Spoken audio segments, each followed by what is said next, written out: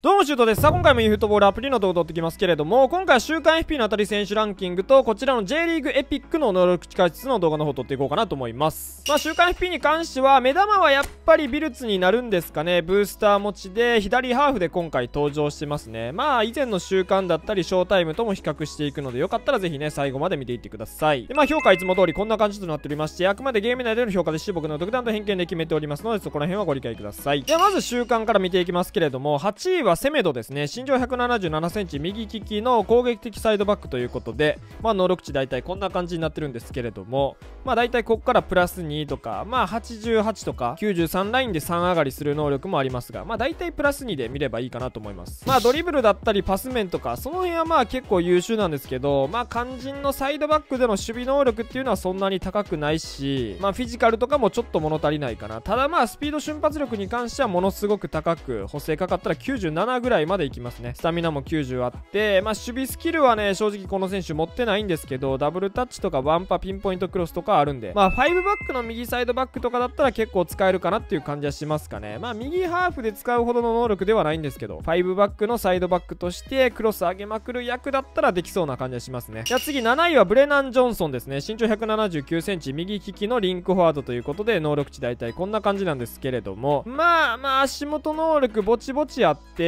パスもそこそこできて、決定力は結構高いですね。カーブはまあ低めで、スピード瞬発力は結構高く、キック力はそんなにはないかな。で、フィジコン、ボディコンはまあまあいい感じだと思います。ただ逆足頻度精度はやや低い普通なんで、まあ左足はそんなに得意な選手ではないし、スキル的にもシュート系はね、ワンタッチシュートぐらいしか優秀なものがなくて、またワンパスルパーぐらいしかないんですよね。まあセンターフォワードってね、まあどうしても試合を決定づけるポジションでもあると思いますし、まあ中盤とかはね、ある程度の選手でもいいと思いますが、やっぱセンターワードムバッペとかルンメニゲとかその辺の選手と比べその辺の選手を置いた時と比べちゃうとまあどうしてもちょっと決定的な仕事はできなさそうな感じはするんでちょっと今回7位にしましたね。じゃあ次6位はバウムガルトナー身長1 7 8センチ右利きの2列目からの飛び出しということで適性はまあちょっと狭いですかね。OMF で使うのがメインになりそうな感じはします。能力はだいたいこんな感じでボールキーパーちょっと低めですがそれ以外の足元能力まあまあ高いですね。決定力とかももそこそこあってスピード瞬発力はまあぼちぼちフィジコンボディコンは結構高めで、キック力低め。逆足は高い最高なんで、まあだいぶ優秀ですね。で、スキル面は足裏コンカ、ミドル、ヒールトリック、ワンパスルパ、ピンポイントクロスあたりが優秀で、まあダブルタッチ、ワンシューアウトスピンキック。この辺持ってたらもう完璧でしたね。まあちょっとスピード的にもウィングは任せられないし、ダブルタッチもないんでね、もうサイドはだいぶきついと思うんですけど、真ん中の選手、OMF にダブルタッチ求めないですって人だったら、まあフィジカルも高いし、身長もまあそこそこあるんで、それなりにね、強さは感じれるかなと思いますけど、まあ特におすすめするほどでもないかなって気はしますかね。では次5位はロチェルソですね。身長177センチ左利きの2列目からの飛び出しの選手ということで、この選手は適性広くて、2列目の位置はどこでもできる感じですね。能力的にはだいたいこんな感じで、まあこの選手もちょっとボールキープ低めですが、足元能力、まあ全体的に平均ぐらいはあって、まあカーブ高いんで決定力の低さもちょっと補えるかなと思いますし、身体能力はまあちょっと微妙かな。さっきの選手と比べても少し物足りない感じはします。ただ逆足頻度精度は普通最高と。まあまあ左足じゃない、右足もしっかり使えて。スキルはダブルタッチ、ルーレット、ミドル、ヒールトリック、ワンシュー、ワンパスルパ、アウトスピンキックと。まあスキルが優秀なんで、ロチェルソの方が順位を上にしたって感じですかね。まあ適性も広いんで、右ハーフから左ハーフまでどこで使っても、まあまあそれなりには活躍してくれると思いますし、あんまりね、始めたてで選手持ってない人にとってはね、こういうどこでもできる選手ありがたいと思うんで、でまあちょい優秀ってぐらいですかね。後でまたね、上位にジエリニスキも出てきますけど、ジエリニスキのちょっと介護感っていう感じがします。じゃあ次4位はカイ・ロールズ選手、身長185センチ左利きの守備的サイドバックということで、まあ能力値大体こんな感じになってるんですけれども、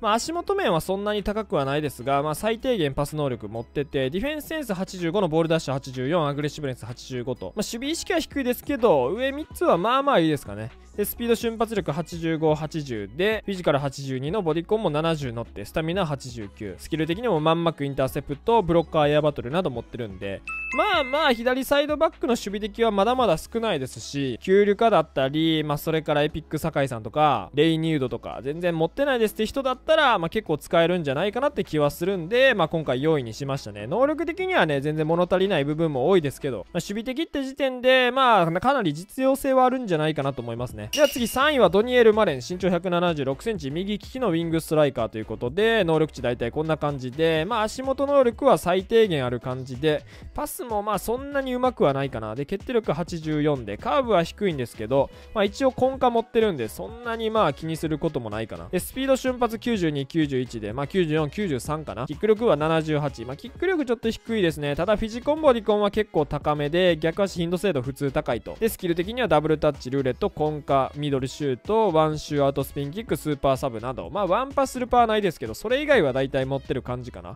まあものすごくいい選手だと思います。こういう足早タイプである程度決定力ある選手スーパーサブに出てきたらやっぱり相手にとっても厄介だと思いますしそこそこフィジカルも強いんでまあ相手押しのける力も多少はあるかなと。まあウィングとかで使ってもいいですけど無印の CF とかで使ってあげるのが一番スーパーサブとしての力は発揮できそうな感じはしますかね。では次2位はジエリニスキですね。身長1 8 0センチ右利きの2列目からの飛び出しということでまあ適正の範囲は、まあ、さっきのロチェルソと全く一緒で先に見るとねスキルがものすごい優秀でダブルタッチ根幹ミドルワンシュースルパーアウトスピンキックエアバトルなどまあワンタッチシュート以外はほとんど持ってる感じかな。なんで本当に2列目どこでも使いやすいかなと思いますしまあドリブル能力とかも結構高くパスもできて決定力も80まで乗せれる。カーブとかも80以上いきますし守備能力もね全部70以上いくんすよ。ここも結構いいかなと思っててやっぱ OMF でね守備70超えてたらだいぶパスカットとかできますしでスピード瞬発力も8784キック力85でフィジカル71のボディコン84逆足頻度精度も最高最高ですしまあかなり優秀だと思いますね。人によっては1位の選手よりもやっぱ守備もできる中盤の選手ということで重宝する人はいてもおかしくないかなって気はします。身体能力に関してはそこまで高くはないですけどやっぱ技術面足元能力とかスキルでもうめちゃくちゃ使いやすい選手だと思うんでまあぜひ一度使ってみてほしいですね。ではラスト1位ビルツですね。ちょっとイーフトハブが今来たんでここからはイーフトハブで見ていきますけれども身長1 7 5センチ右利きを2列目からの飛び出しということで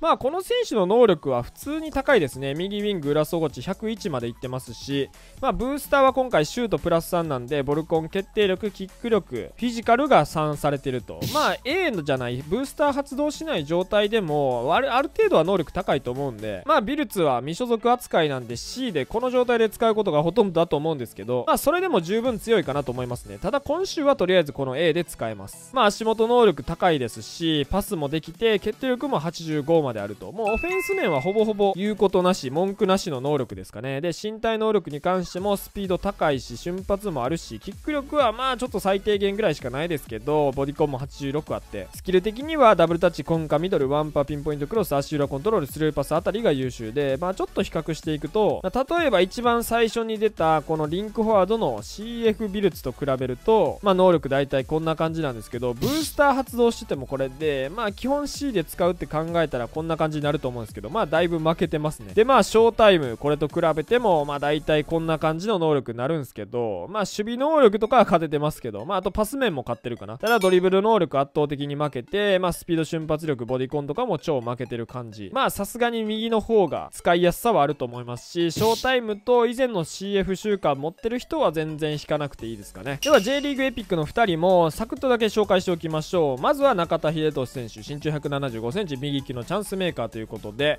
まあこの選手はですね特段悪いところはないですかね。ドリブル能力超高いしスピード瞬発力キック力とかも高くボディコンも89まであってグランダーパスも87あるんでまあ普通に使いやすく優秀な選手だと思います。これでスキル的にもワンシューコンカミドルワンタッチパスアウトスピンキックスルーパスとか持ってるんでまあ本当ダブルタッチと足裏コントロールとかスーパーサブつけるだけで本当完璧な選手になれるかなと思いますしまあ優秀な右ハーフ欲しい決定力低くてもいいから中洲さんめちゃくちゃ魅力力的やなって思ったらまあまあ100ボックスですし狙いに行ってもいいかなと思いますけどまあめちゃくちゃおすすめするほどではないかなって感じしますかね。まあでも使ったら普通に強いと感じるレベルの選手だと思いますね。では次ストイコビッチ。ストイコビッチ僕取らなかったですけどストイコビッチも全然悪くないですね。身長 175cm 右利きのチャンスメーカーということでまあ逆足最高最高でこの能力。まあドリブル能力しっかり高くってパスもできて決定力も高い。カーブも87あってキック力も高いんで根幹はないですけどまあある程度点は取れるかなと。でフィジコンボディコンも7094あってスピシュンはまあちょっとだけ物足りない感じはしますけどスキル的にもダブルタッチミドルワンパウトスピンキック足裏スルーパスなどまあワンシューとかコンカこの辺りだけで十分かなって感じしますし脚力2下げるだけでパス5触れてグランダパス90まで持っていけるんでまあこの育成も相当面白いと思いますしまあ今の環境ちょっとパス大事にもなってきてるんでまあ OMF でちゃんめでしか使えないっていうところではありますけどまあ案外ストイコビッチも悪くないんじゃないかなって気はします。それでは今回ここで週刊 FP の当たり選手ランキングと J リーグエピックの解説を終わっていこうと思いますがいかがでしたでしょうか？まあ正直今回の週間に関してはビルツ欲しいか欲しくないかで決めるべきかなって感じでショータイムと以前のビルツ持ってる人だったらもう全然スルーでいいと思いますしなんなら通常のビルツもうちょっとドリブル尖らせたり自分好みに育成もできると思うんでまあそっちでも最悪いいんじゃないかなって気はするんでまあ個人的にはスルー推奨の習慣になってるかなって感じはしますかね。だいぶ1点狙いのガチにはなってしまいますけどまあ J リニスキもある程度は強いんで2列目補強したいならまあ引きに行ってもいいんじゃないかなって感じでもうビルツ以外特にいらなくてビルツもちょっと迷ってるってぐらいならやっぱほとんど C 固定の選手なんで個人的にはスルーでいいんじゃないかなって気がします。で J リーグエピックに関してはまあストイコビッチ中田選手ともに結構面白い能力ではありますけどまあ常にガチスカに入る級の選手かって言われたらそうでもないと思うんでまあまあこれも100ボックスですけどスルーが安定かなって感じがしますかね。それでは今回ここで動画の方終わっていこうかなと思います。チャンネル登録がぜひよろしくお願いします。それではまた次回の動画でお会いいたしましょう。ご視聴さました。